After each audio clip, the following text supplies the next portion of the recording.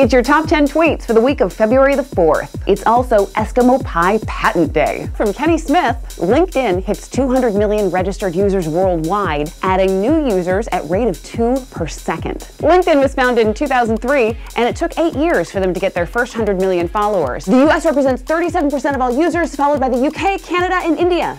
Our next tweet is from Kevin Sechia. I bet there is already someone who's put their number of Twitter followers on a college application. Hi, I'm Courtney. I can type 12 words per minute, but I have 8,000 Twitter followers.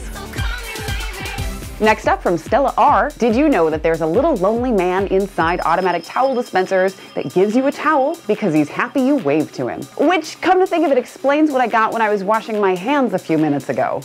Next, from the official account of Barack Obama, the president's view on Monday with this photo. But wait, hold on. That's the president in the photo, which means it's a staff member who took it. How much cooler would it be if the president actually is like, hold on, everybody? Or even better, if he's in the photo himself.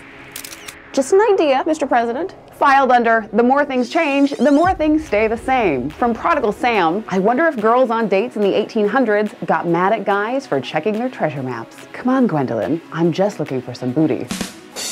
Next, from Esteban Contreras, username Social Nerdia. Do you consider Facebook and Twitter free?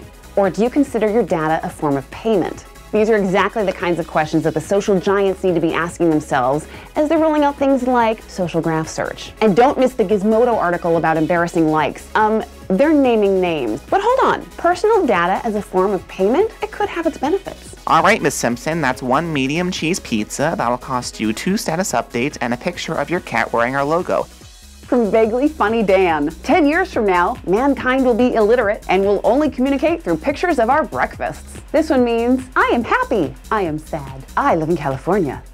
Next, from our friend Adam Bain, oh man, Robin Williams is now on Twitter. Robin Williams wasn't on Twitter yet? He joined on January 23rd with a photo of his puppy Leonard. Mr. Williams bills himself as an actor, comedian, cyclist, and retired mime. Robin, you forgot retired nanny.